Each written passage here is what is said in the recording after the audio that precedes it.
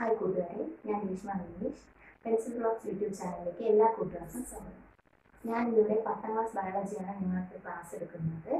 അപ്പോൾ ബയോളജിയെ കുറിച്ച് പറയുകയാണെങ്കിൽ എന്താണ്? എല്ലാവർക്കും എ പ്ലസ് വാങ്ങിക്കാൻ പറ്റുന്ന ഒരു സബ്ജക്റ്റാണ് ബയോളജി എന്ന് പറയുന്നത്. അതൊക്കെ നിങ്ങൾക്ക് എല്ലാവർക്കും എ പ്ലസ് നേടാൻ പറ്റുന്ന വിധത്തിലാണ് ഞങ്ങൾ ഈ വീഡിയോ തയ്യാറാക്കിയിരിക്കുന്നത്. മലയാളം മീഡിയത്തിനും ഇംഗ്ലീഷ് മീഡിയത്തിനും പ്രയോജനകരമായിട്ടുള്ള രീതിയിലാണ് വീഡിയോ ഞങ്ങൾ തയ്യാറാക്കിയിരിക്കുന്നത്. അപ്പോൾ എല്ലാ കൂട്ടുകാരും നന്നായിട്ട് പഠിക്കുക. ബയോളജിയിൽ നിങ്ങൾക്ക് ആകെ പഠിക്കാനുള്ളത് എട്ട് ചാപ്റ്ററാണ് അതിന്റെ ഫസ്റ്റ് ചാപ്റ്ററാണ് സെൻസേഷൻസ് ആൻഡ് റെസ്പോൺസ് അറിയാനും പ്രതികരിക്കാനും എന്ന പാഠഭാഗമാണ് നമ്മൾ ഇവിടെ പഠിക്കുന്നത്. നമുക്ക് തുടങ്ങാം. എന്താണ് ഈ അറിയുക എന്ന് പറഞ്ഞാൽ? എന്താണ് ഈ പ്രതികരിക്കുക എന്ന് പറഞ്ഞാൽ? നമ്മൾ ജനിക്കുമ്പോൾ മുതൽ തന്നെ ഒരുപാട് കാര്യങ്ങൾ അറിയുന്നുണ്ട് അതിനെതിരെ പ്രതികരിക്കുന്നുണ്ട്. അത്തരത്തിലുള്ള രസകരമായ കാര്യങ്ങളാണ് ഈ ചാപ്റ്ററിൽ നമ്മൾ പഠിക്കുന്നത്. ഫസ്റ്റ് ടോപ്പിക് എന്ന് പറയുന്നത് സ്റ്റിമുലേ അഥവാ ഉദ്ദീപനം എന്താണ് സ്റ്റിമുലേ അഥവാ ഉദ്ദീപനങ്ങൾ എന്ന് പറയുന്നത് The senses that invoke responses in organisms are called stimuli. The senses that invoke response in organism are called stimuli. ജീവികളിൽ പ്രതികരണ പ്രവർത്തനങ്ങൾക്ക് കാരണമാകുന്ന പ്രേരണകളാണ് സ്റ്റിമുലൈ എന്ന് പറയുന്നത് മനസ്സിലായോ അഥവാ ഉദ്ദീപനം ജീവികളിൽ പ്രതികരണ പ്രവർത്തനങ്ങൾക്ക് കാരണമാകുന്ന പ്രേരണകളെയാണ് നമ്മൾ ഉദ്ദീപനങ്ങൾ അഥവാ സ്റ്റിമുലൈ എന്ന് പറയുന്നത്. മനസ്സിലായോ? Example taste touch hunger taste touch hunger അതായത് ഏതൊക്കെയാണ്? രുചി എന്താണ്?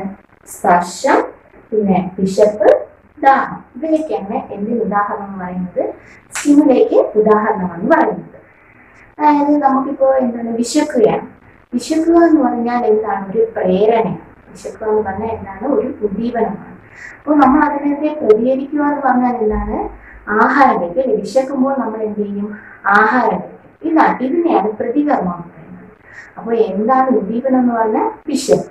നമ്മൾ പ്രതികരണം എന്ന് പറഞ്ഞാൽ എന്താണ്? ആഹാരം കഴിക്കുക അപ്പൊ ഇവിടെ മനസ്സിലായല്ലോ? നമുക്ക് വിശക്കുമ്പോഴാണ് നമ്മൾ എന്ത് ചെയ്യുന്നത്? ആഹാരം കഴിക്കുന്നത്. നമുക്ക് വിശപ്പ് എന്ന് പറയുന്ന സ്റ്റിമുല ഉണ്ടാവുകയും ഒരു പ്രേരണ ഉണ്ടാവുകയും അതിനെതിരെ നമ്മൾ എന്ത് ചെയ്യും? ആഹാരം കഴിക്കും. അതിനെയാണ് നമ്മൾ എന്തെന്ന് പറയുന്നത്? പ്രതികരണം എന്ന് പറയുന്നത്. മനസ്സിലായോ? പ്രേരണ എന്താണെന്ന്? സ്റ്റിമുല എന്താണെന്ന് മനസ്സിലായോ? അതായത് the senses that evoke response in organism are called stimuli ജീവികളിൽ പ്രതികരണ പ്രവർത്തനങ്ങൾക്ക് കാരണമാകുന്ന പ്രേരണകളെയാണ് നമ്മൾ എന്തെന്ന് പറയുന്നത്? സ്റ്റിമുലെ എന്ന് പറയുന്നത്. സ്റ്റിമുലെ രണ്ട് വിധമാണ് ഉള്ളത്. Internal stimuli external stimuli internal stimuli external stimuli internal stimuli എന്ന് പറഞ്ഞാൽ നമ്മുടെ ശരീരത്തിന് അകത്ത് നടക്കുന്ന കാര്യങ്ങളെയാണ്. അക- അകത്ത് നടക്കുന്ന പ്രേരണകളെയാണ് നമ്മൾ ഇന്റേണൽ സ്റ്റിമുലെ എന്ന് പറയുന്നത്. വിശപ്പ് ദാഹം ഇവയൊക്കെയാണ് ഇന്റേണൽ സ്റ്റിമുലേക്ക് ഉദാഹരണം എക്സ്റ്റേണൽ സ്റ്റിമുലെ എന്ന് പറഞ്ഞാൽ നമ്മുടെ പുറത്ത് നടക്കുന്ന കാര്യങ്ങൾ അതായത് സ്പർശം രുചി ഇതൊക്കെയാണ് എന്ന് പറയുന്നത്. എക്സ്റ്റേണൽ സ്റ്റിമുലേ എന്ന് പറയുന്നത്. മനസ്സിലായോ? ഇന്റേണൽ സ്റ്റിമുലി എക്സ്റ്റേണൽ സ്റ്റിമുലി മനസ്സിലായോ? സ്റ്റിമുല എന്താണെന്ന് മനസ്സിലായോ? ജീവികളിൽ പ്രതികരണ പ്രവർത്തനങ്ങൾക്ക് കാരണമാകുന്ന പ്രേരണകളെയാണ് നമ്മൾ എന്തെന്ന് പറയുന്നത്. ഉദ്ദീപനങ്ങൾ അഥവാ സ്റ്റിമുലേ എന്ന് പറയുന്നത്.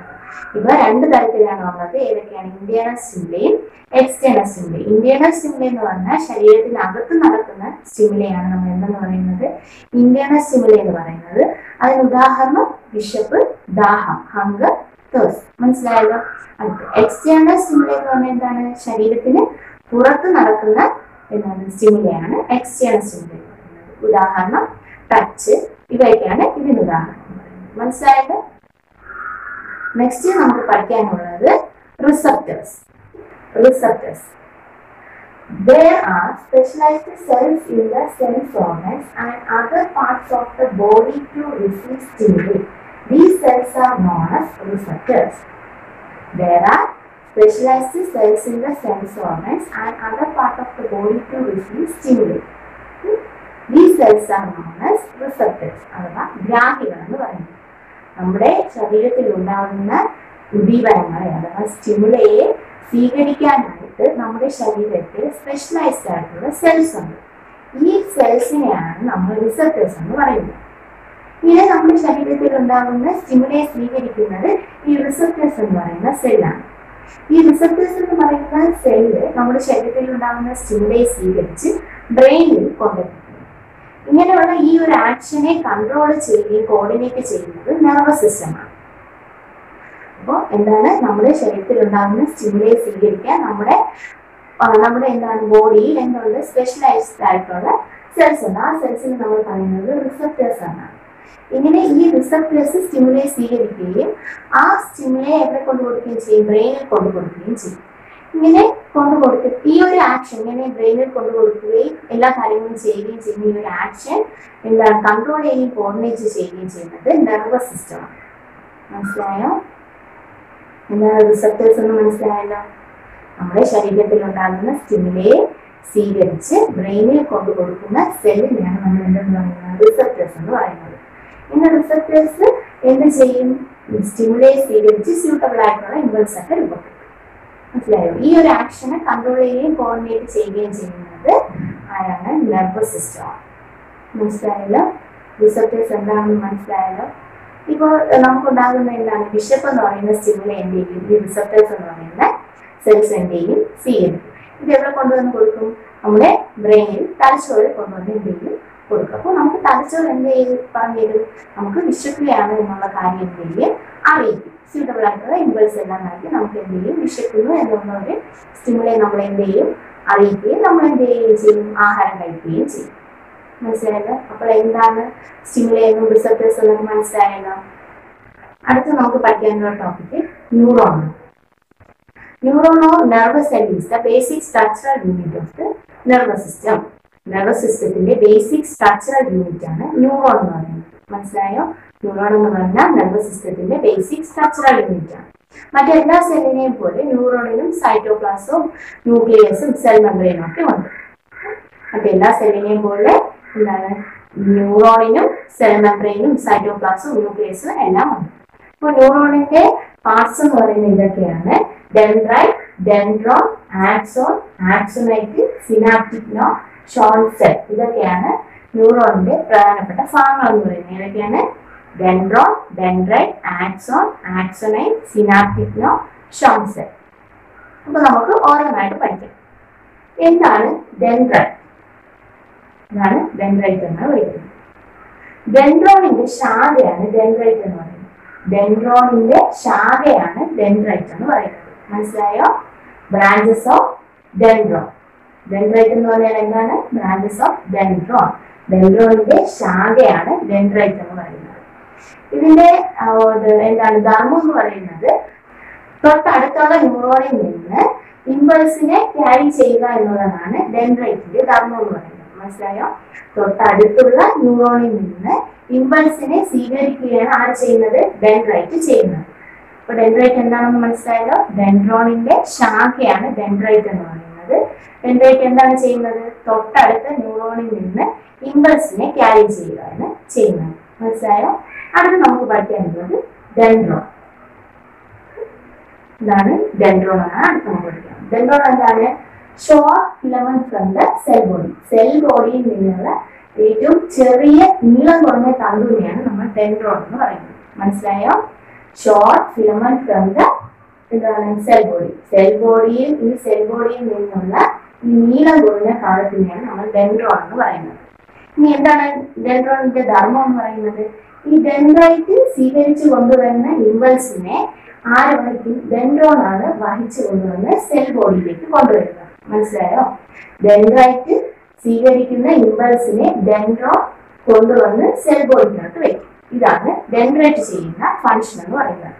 മനസ്സിലായല്ലോ. അപ്പൊ ഡെൻഡ്രൈറ്റും ഡെൻഡ്രോൺ എന്താണെന്ന് മനസ്സിലായല്ലോ?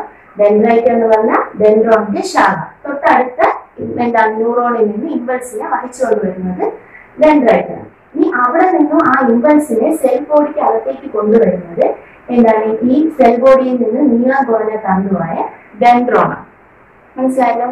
ഡെൻഡ്രോണും ഡെൻഡ്രൈറ്റ് എന്താണെന്ന് മനസ്സിലായല്ലോ? അടുത്ത് നമുക്ക് പഠിക്കാനുള്ളത് ആക്സോണാണ് നമുക്ക് പഠിക്കാനുള്ളത് എന്താണ്? ആക്സോൺ ആണ് ആക്സോൺ എന്ന് പറഞ്ഞാൽ ഇപ്പോൾ ഡെൻഡ്രൈറ്റ് വഴി ഡെൻഡ്രോൺ സ്വീകരിച്ചു കൊണ്ടുവച്ചിരിക്കുന്ന എന്തിനെ? ഇമ്പൾസിനെ സെൽ ബോഡിയിൽ നിന്ന് പുറത്തേക്ക് വഹിച്ചു കൊണ്ടുപോകുന്നത് ഈ നീളം കൂടിയ തന്തുവായ ആക്സോൺ ആണ്. ഇത് ആക്സോൺ എന്ന് പറഞ്ഞാൽ longest filament from cell body cell ബോഡിയിൽ നിന്നുള്ള നീളം കൂടിയ തന്തുവിനെയാണ് നമ്മൾ ആക്സോൺ എന്ന് പറയുന്നത്. മനസ്സിലായല്ലോ? ഡെൻഡ്രൈറ്റ് സ്വീകരിച്ചു വെച്ചിരിക്കുന്ന ഇമ്പൾസിനെ കൊണ്ടുവരും സെൽ ബോഡിയിൽ കൊണ്ടുവരും. ഇങ്ങനെ സെൽ ബോഡിയിൽ ഇരിക്കുന്ന ഇമ്പൾസിനെ പുറത്തേക്ക് വഹിച്ചു കൊണ്ടുപോകുന്നത് ഈ നീളം കൂടിയ തന്തുവായ ആക്സോൺ ആണ്. ആക്സോൺ എന്താണെന്ന് മനസ്സിലായല്ലോ? അടുത്ത നമുക്ക് പഠിക്കാനുള്ള പാട്ട് എന്ന് പറയുന്നത് ആക്സോണൈറ്റ് ആണ്. എന്താണ്? ആക്സോണൈറ്റ് അപ്പോൾ ഈ ആക്സോൺ സ്വീകരിച്ചു കൊണ്ടുവരുന്ന ഇമ്പൾസിനെ സിനാപ്റ്റിക് നോബിലേക്ക് വിടുന്നത് ഈ ആക്സോണൈറ്റ് ആണ്. മനസ്സിലായോ? ഈ ആക്സോണ് സെൽ ബോഡിയിൽ നിന്ന് സ്വീകരിച്ചു കൊണ്ടുവരുന്ന ഇമ്പൾസിനെ സിനാപ്റ്റിക് നോവിലേക്ക് കൊടുക്കുന്നത് ആക്സോണൈറ്റ് വഴിയാണ്. മനസ്സിലായല്ലോ? അടുത്ത് നമുക്ക് പഠിക്കാനുള്ളത് synaptic knob tip of axonite ആക്സോണൈറ്റിന്റെ tip അതായത് അഗ്രഭാഗം ഈ ടിപ്പിനെയാണ് നമ്മൾ എന്തെന്ന് പറയുന്നത്? സിനാപ്റ്റിക് നോബ് എന്ന് പറയുന്നത്. ഇവിടെ വെച്ചാണ് ന്യൂറോ ട്രാൻസ്മിറ്റേഴ്സ് ഉണ്ടാകുന്നത്. സെക്രിക് ന്യൂറോ ട്രാൻസ്മിറ്റേഴ്സ് അപ്പോൾ എന്താണ് സിനാപ്റ്റിക് നോവൽ എന്ന് പറഞ്ഞാൽ ആക്സണൈറ്റിന്റെ ടിപ്പിനെയാണ് നമ്മൾ എന്തെന്ന് പറയുന്നത്. ടിപ്പ് ഓഫ് ആക്സണൈറ്റ് ആക്സണൈറ്റിന്റെ ടിപ്പിനെയാണ് നമ്മൾ എന്തെന്ന് പറയുന്നത്. സിനാപ്റ്റിക് നോവൽ എന്ന് പറയുന്നത്. അപ്പോൾ ഈ സിനാപ്റ്റിക് നോബിൽ വെച്ചാണ് ന്യൂറോ ട്രാൻസ്മിറ്റേഴ്സ് എന്ത് ചെയ്യുന്നത്. സെക്രീറ്റ് ചെയ്യുക. മനസ്സിലായല്ലോ? ഇനി നമുക്ക് പഠിക്കാനുള്ളത് ഷോർട്ട് സെൽ ആണ്. ഷോർട്ട് സെൽ വേറൊന്നുമല്ല. നമ്മുടെ ഈ ആക്സോണിനെ പൊതിഞ്ഞ് കാണപ്പെടുന്ന ഒരു സെല്ലിനെയാണ് നമ്മൾ എന്തെന്ന് പറയുന്നത്. ഷോർട്ട് സെൽ എന്ന് പറയുന്നത്. എൻസാക്രഡ് ദ ആക്സോൺ ആക്സോണിനെ പൊതിഞ്ഞ് കാണപ്പെടുന്ന ഈ സെല്ലിനാണ് നമ്മൾ ഷോൺ സെൽ എന്ന് പറയുന്നത്.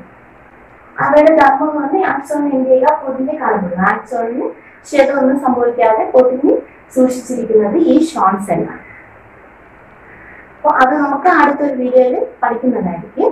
അപ്പൊ എന്താണ്? ഇപ്പൊ നമ്മൾ എന്താണ് ഇവിടെ പഠിച്ചുകൊണ്ടിരുന്നത് ന്യൂറോണും അവയുടെ പാർട്സും ആണ്. ഇപ്പൊ ന്യൂറോണിന്റെ പ്രധാനപ്പെട്ട ഭാഗങ്ങൾ ഏതൊക്കെയാണ്?